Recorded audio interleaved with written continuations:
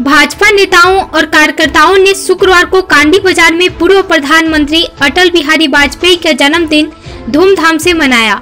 सुशासन दिवस के रूप में कांडी बाज़ार में हुए कार्यक्रमों में उन्होंने केंद्र और प्रदेश सरकार की उपलब्धियों और नीतियों का प्रचार किया एवं वर्तमान प्रधानमंत्री नरेंद्र मोदी के कार्यक्रम को टीवी के माध्यम से लोगों को दिखाया। इस मौके पर भाजपाइयों ने गरीबों, असहाय लोगों के बीच कंबल एवं मिठाइयों का वितरण भी किया।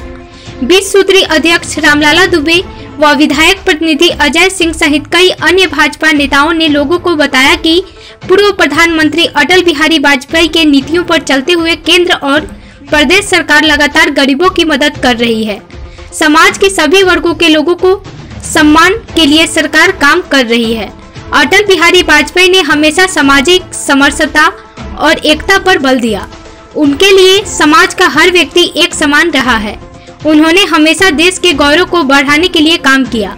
इस मौके पर मुख्य रूप से मंडल अध्यक्ष श्रीकांत पांडे, रामलला दुबे, अजय सिंह, रामलखन प्रसाद, लखन चंद्रवंशी, कांडी मुखिया विनोद प्रसाद, उप प्रमुख अशोक प्रसाद सहित कई अन्य भाजपा नेता मौजूद थे।